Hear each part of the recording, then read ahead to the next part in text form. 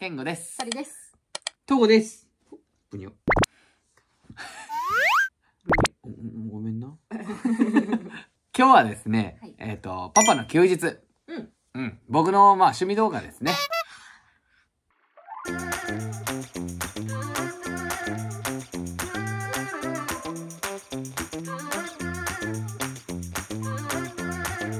まあ僕の休日はですね東郷と遊ぶとかまあいろいろあるんですけど料理をするのが実はあのー僕よく趣味でよく料理作るんですよ。その様子まあ僕の休日はこんなんだよっていううんうんパパの休日ですよ。30歳。親父の休日。僕何年くらい料理してんのかなっていうのを振り返ってみたんですけうん。ど、うんうん。45年くらいやってんねんな。あの料理を、うん、だからまあそれくらいの実力はありますよ。うんなんかねすごい凝ってる。なんああ、か私はそんなそこまでできないっていうのに対して健吾はそこまでこだわるっていう。いいね。あ本当趣味なんですか僕のあの何が食べたいですか？ちなみに。それを作ります、はねはい。和食。和食ね。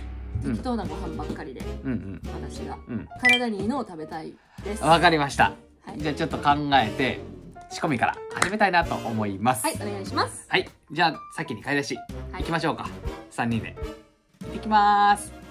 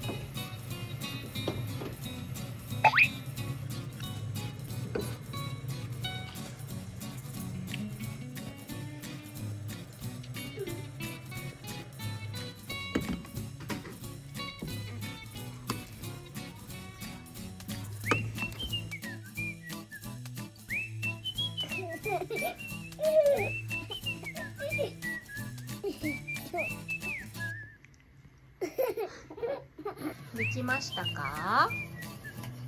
大体は。大体は。おお、美味しそう。肉じゃが。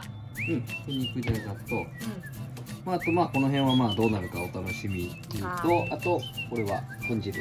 ねん。おお、いいね。うん。豚汁楽しみ。試し。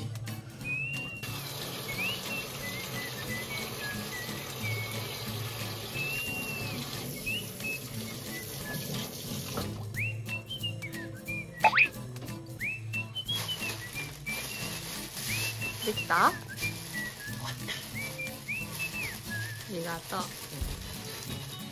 後で晩ご飯にしましょう。はい。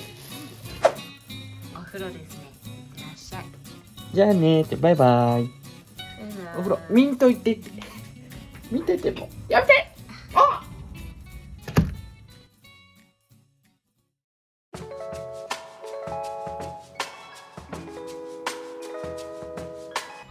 美味しそう動画上なんでちょっとだけ調子乗りました。ですよね。